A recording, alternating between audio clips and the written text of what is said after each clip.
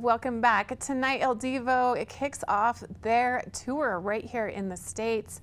They are honoring the late Carlos Marin and this tour happening in Florida tonight, St. Petersburg, in fact. They have a few dates in Florida before they head to California. This is a greatest hits tour, an emotional one as well, and I sat down with Il Divo recently. Let's take a look. Following the tragic passing of Il Divo's Carlos Marin, the remaining members of the multinational group, America's David Miller, France's Sebastien Izambard, and Switzerland's Urs Buhler are proceeding with their tour in tribute to Marin. They join us today to discuss the tour, which will be filled with Il Divo's hits from their vast catalog of songs. Thank you so much for joining us here at Park City Television. Absolutely. Thanks for having us. Hello. So tell us about your concert tour and your CD salute to Motown. Well, uh, this tour is um, a very different tour from anything we've done before. Um, firstly, because uh, the, the original idea is, is not what we're going to be presenting. The original tour was supposed to be uh, wrapped around our latest album, For Once in My Life, which is a celebration of the music of Motown. And that was meant to uh, debut in 2020. Um, and we were meant to go on tour in 2020, but 2020 um, broke. And so, um, with everything that happened, it just was not possible to continue. So we postponed. And uh, when we finally got to the point that we uh, could potentially go back out on tour, um, another tragedy uh, befell us, and our bandmate uh, and dear friend Carlos Marin, he uh, tragically passed away. So we had to figure out how to pick up the pieces from that, what we were going to do. And we got so much support from fans around the world who said, you must continue, you, you must go on. And, and so we decided to completely reconfigure everything. And uh, we chose repertoire that's more like a greatest hits tour, but all of those greatest hits, uh, and including uh, the Motown um, section that we're going to do, it's all kind of wrapped around this idea of uh, doing a tribute performance to Carlos.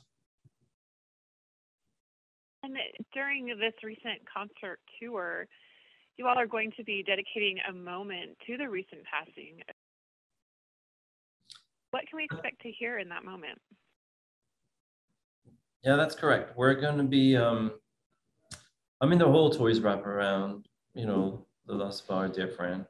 um, a lot of the songs like Without You, Hero, are messages that we feel are, you know, words that are dedicated to Carlos and songs that have been really big over the years with Carlos.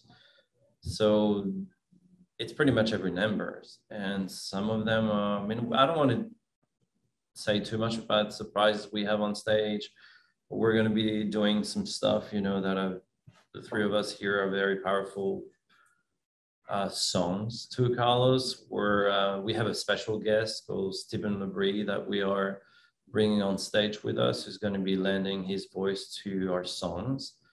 Um, and um, I think it's going to be extremely uh, emotional, you know, uh, up and down and an audience, you know, that will be uh, also reminding us of some memories. So it's really a powerful healing tour with lots of amazing memories of 17 years. And uh, I really hope a lot of people are going to come and discover us and fans that will also come and take this journey with us. I, I really hope um, this will be a big tour. We feel very strong.